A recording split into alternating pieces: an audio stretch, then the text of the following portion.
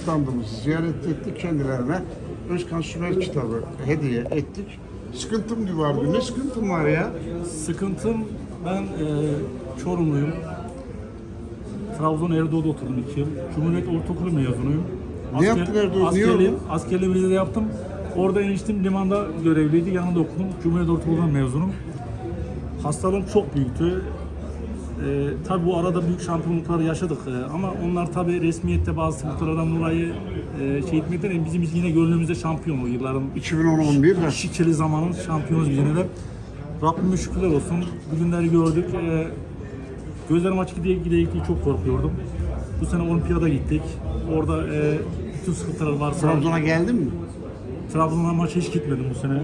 Gidemedim. Şampiyonluk kutlamalarına gelemedi. Gelemedim. Ee, burada Trabzonlu e, gençler grubundan beraber e, bir bağlantı kurduk. O şeyde olimpiyada gittik. Ee, işin garip tarafı Büyük çok büyük Fenerbahçeli. Sıkıntın o. Sıkıntımız e, şöyle 2010-2011 sezonunda o beni görmezdi, ben onu görmezdim. Ondan dolayı Nasıl görmezdiniz yani? Aynı evde değil misiniz? aynı evdeyiz ama e, Odalar ayrı. yani odalar ayrıydı. Biraz gergin geçti durumlarımız. O yüzden birbirimizi görmezdik. Ciddi diyorsun değil mi bunu? Gerçek bir şeyler anlatıyorum sizlere. Oğlum kaç yaşında? Oğlum 98'di, 20 küsur yaşında. Ee, demek ki belki o zaman çocukluğun durumları da vardı. Küstü.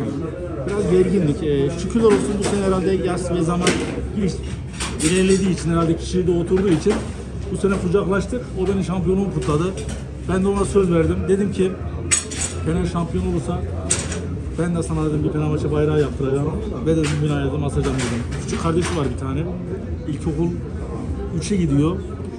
O da ikimizi kırmamak için arada hem ona takılıyor hem bana takılıyor. Ee, ona da TS kulüpten tüm A'dan Z'ye bütün Fenerbahçe Trabzonspor formalarını aldı, giydirdim. Bu sene beraber o coşkuyu yaşadık. Ee, mutluluğum tarif edilmez. Şöyle diyeyim, sıkıntımı mesela hastalığımı Trabzonspor yenildiği zaman, eşim çocuklar dışarıda olduğu zaman evde onlar gelmeden ben yatağa girerdim. Kimseyi görmek istemezdim. Stresten. Stresten. Stresten ve sıkıntıdan. Yani bu hep böyle mi devam etti? Bunu, bunu yaşayana kadar böyle devam etti. Neyi yaşayana kadar? Bu şampiyonluğu, bu coşkuyu, üzerimdeki bu sıkıntıyı bu sene attım.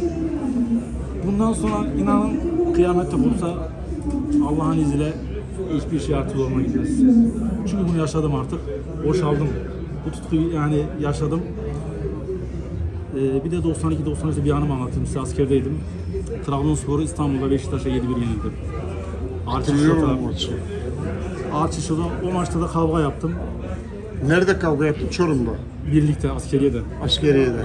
Arçeli bir tarihten dolayı. Ee, ben e, büyük maçları, derbileri kendime güvenediğim için hiç seyretmem.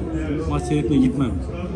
Ne kahveye, ne televizyona, evime yani Dijitürk dahi alamadım. Kendime güvenmediğim için, Trabzonspor'da büyük bir güven vermediği için yani o şekilde e, anılar yaşadık, sıkıntılar oldu. Ama Rabbe bin şükürler olsun. Bugünleri yaşadım. Trabzon'da asker arkadaşım var Metin Aliş. Rıfat var Sebaspor'dan futbolcu. Metin Aliş Sebaspor'un kalesi. Bütün Trabzonlara, Trabzon camiasına selam ve sevgiler. Eyvallah. Ankara'dan hasta bana Trabzonspor'u Çorba Tahsin Yiğit. Çorumlu Tahsin. Evet Yiğit. Tahsin Yiğit. Peki. Yiğit adam. Trabzon senin için ne ifade ediyor? Niye Trabzonspor? Trabzonspor benim için şöyle anlatayım. Şöyle söyleyeyim. Trabzonspor ne ifade ettiğine gelmem. Trabzon senin için bir şey ifade ediyor mu? Şehir olarak da bir şey ifade ediyor mu? Trabzonspor şehir olarak da takım olarak da bir tutku, bir duruş, asalet, e, haksızlığa, isyana bir baş kaldırış. Hak, hukuk, adalet, dik duruş, inadına duruş. Bunu gördün mü Trabzon'da? Kesinlikle. Yaşadın yani. Yaşadım ben e, Trabzon'da çok maça gittim. Yani ben şöyle ifade edeyim. Benim plakam 19 ama onu ters yazmışlar. 61 olmasın. Peki. Sizlere çok teşekkür ediyorum. Gözlerim doldu ya. He? Nasıl anlatayım başına? Gözlerim doldu ya. Peki. Sorumlu dostumuz. Ee, bütün herkese, bütün taraftarlara, bütün camiaya çok teşekkürlerimi iletiyorum. Bize bugünleri yaşattığı için başkanımıza, futbolculara, yönetime, Trabzon halkına herkese candan gönülden sevgiler. Biz de size bir kitap hediye ettik. Biz de size başarılar Çok diliyoruz. teşekkür ederim. Olsun. Yolunuz açık olsun. Sağ olun. Çok mutlu oldum.